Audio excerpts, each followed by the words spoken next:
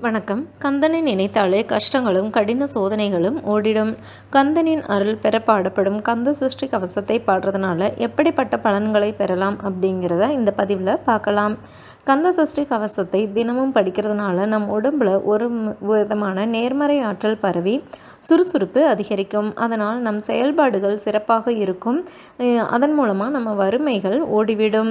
முருகனின் பெயரால் நவக்கிரகங்களும் நமக்கு துணை நிற்பாங்க. எதிரிகளின் மனம் மாறி தோழமை உண்டாகும். வீட்டை பிடித்திருக்கும் தரித்திரம் பீடை செய்வினைகள் அடியோடு அழிந்துவிடும். வீட்டில் இருக்கிற எதிர்மறை சக்திகள் நீங்கி நேர்மறை சக்திகளான லக்ஷ்மி கடாட்சம் குழந்தை பாக்கியம் மன நிம்மதி உண்டாகும். தினமும் கந்தசஷ்டி கவசத்தை பாடுவோருக்கு மதிப்பு மரியாதை உண்டாகும். மனமும் உடலும் வலிமை அதிகரிப்பதோடு முக வசீகரம் ஏற்படும். முருகனுக்கு உகந்த செவ்வாய்க்கிழமைகளில் மூன்று முறை கந்தசஷ்டி கவசத்தை படிப்பதால் நாம் நினைத்த காரியங்கள் நிறைவேறும். முகுந்து முருகனுக்கு உகந்த நாட்கள் சஷ்டி விரதம் மேற்கொள்ளும் தினத்திலும் முருகனுக்கு விரதம் இருந்து மூன்று கந்தசஷ்டி கவசத்தை படிப்பதாலும் முருகனுக்கு நெய்தெய்வம் ஏற்றி வழிபடுவதால் நடக்காது என்று நினைத்த காரியங்கள் கூட நடைபெறும்னு சொல்லுவாங்க. கடவுள் நம்பிக்கை இல்லாதவங்களுக்கு இந்த விரதம் மேற்கொள்வது சவாலாக இருக்கும். கந்த கந்தசஷ்டி கவசம் அப்படிங்கிறது சாதாரண பக்தி பாடல் கிடையாது. இதில் சர்வ சக்திகளும் அடங்கியிருக்கு. முக்காலத்தில் முனிவர்களும் சித்தர்களும் காட்டில் வசிக்கும் போதும் தியானத்தில் இருக்கும் போதும் தீய சக்திகளிடமிருந்து தப்பிக்க கந்த கந்தசஷ்டி கவசத்தையும் சிவ மந்திரத்தையும் பாடி வந்ததுதான் ஒரு இ- குறிப்பு இருக்கு. இப்படிப்பட்ட அற்புத பலன்களை தரக்கூடிய கந்த கந்தசஷ்டி கவசத்தை தினமும் மனமுருக பாடினால் முருகனின் அருளால் வேதனைகள் விலகி அத்தனை நன்மைகளும் பெற முடியும்.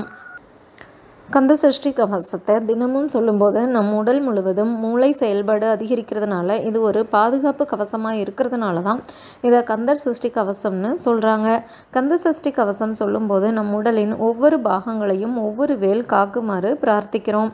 உதாரணமாக சொல்லப்போனால் கதிர்வேல் இரண்டும் கண்ணினை காக்க விதிச்செவி இரண்டும் வேலவர் காக்க நாசிகள் இரண்டும் நல்வேல் காக்க பேசிய வாய்தனை பெருவேல் காக்க கண்ணம் இரண்டும் கருணைவேல் காக்க என் கழுத்தை இனிய வேல் காக்க அப்படின்னு இப்படியே உடல்ல ஒரு அங்கம் விடாமல் வேல் காக்கன்னு சொல்றோம். இப்படி தினசரி நாம் வாயால் ஒவ்வொரு அவயங்களை பற்றி சொல்லும் போதும் நமது மனது அந்த அங்கத்தில் நிலை கொள்கு நிலை கொள்ளுது மனது தியானிக்கும் அங்கத்தினை நமது மூளை தானாகவே ஒரு சில வினாடிகள் கூர்ந்து கவனிக்குது. இப்படி மூளையின் தனி கவனத்திற்கு வரும்போது அந்த பாகத்திற்குரிய மூளையின் செயல்பாடுகள் சிறப்படையும். இப்படி தினசரி மிகவும் அமைதியான மனநிலையில் நாள் இருமுறை நம் உடல் பாகத்தினை மூளையின் கவனத்திற்கு கொண்டு வந்தோம் அப்படின்னா உடம்புல சிறு சிறு குறைபாடுகளை மூளை தாமாகவே சரி செய்து கொள்ள ஒரு தூண்டுதலாக அமையும். இதே இதில் வந்து பார்த்திங்கன்னா யோகாசனத்துலேயும் அப்படி ஒரு சாவாசனம்னு சொல்லுவாங்க. அப்போ நம்ம உடம்புல ஒவ்வொரு அவயங்களையும் சொல்லி சாந்தின்னு சொல்லுவோம். இல்லைன்னா அந்த உறுப்புகளை நினச்சி பார்க்க சொல்லி கீழேருந்து மேலாகவும் மேலேருந்து கீழாகவும் நினச்சி பார்க்க சொல்லி சொல்லும்போது நம்மளோட மூளை வந்து அந்த உறுப்பை ஒரு சில வினாடிகள் தனித்து கவனிக்கிறதா சொல்லுவாங்க. அதனாலேயே நம்ம சாவாசனம் செய்யும்போது உடம்பு ரொம்பவும் ரிலாக்ஸ் ஆகும். இதனால் இதனால நம்ம உடம்புல வர்ற நோ நோய்கள் மன அழுத்தம் இது எல்லாமே குறையும்னு சொல்லுவாங்க. அதே மாதிரி தான் இந்த கந்தசிஷ்ட கவ க கந்தசிருஷ்டி கவசத்தில் வர்ற ஒவ்வொரு உறுப்புகளையும் நம்ம சொல்லும்போது நமக்கு அதே பலன் நமக்கு கந்தசிருஷ்டி கவசத்தை சொல்லும்போதும் கிடைக்குது. மேலும் தகவல்களுக்கு சேனலை சப்ஸ்கிரைப் பண்ணுங்கள் தேங்க்யூ